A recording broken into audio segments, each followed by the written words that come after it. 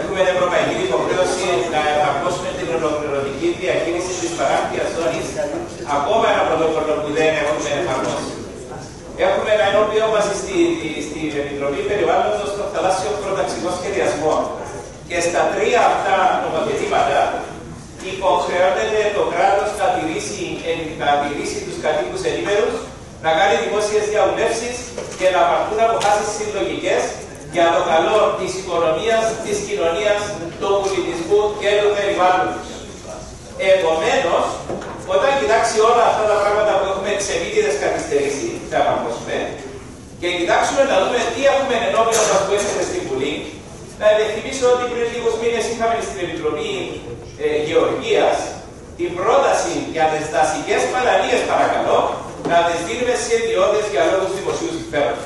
Αν είναι δυνατόν, δασικές παραλίε, και όσοι ψάξετε θα βρείτε πολύ ενδιαφέρον σε σχέση με οι δασικέ παραλίε.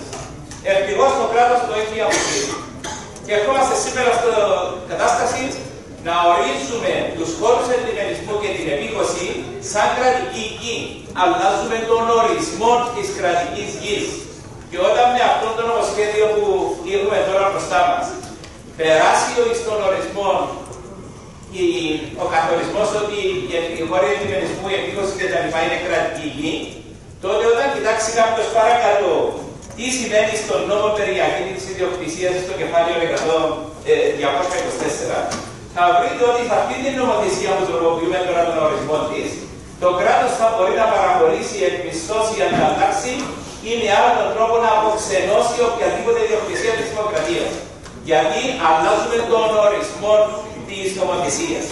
Και με αυτόν τον τρόπο, οποιοδήποτε έχει μπροστά από το ξενοδοχείο του, μπροστά από την κατοικία του ή έχει σκοπό να κατασκευάσει ένα λιμενοπραχίωνα, με την πολύ απλή διαδικασία που έχει ο διαχείριση χώρων επιμερισμούς σκαφών αναψυχής νόμος 46 του 2007, με ένα πολύ απλό διάταγμα του Υπουργού θα γυρίσετε χώρος επιμερισμού ή επίκοση, αυτόματα μπαίνει στον ορισμό και μόλις μπει στον ορισμό, αυτόματα με μια διαδικασία αδιαφανή.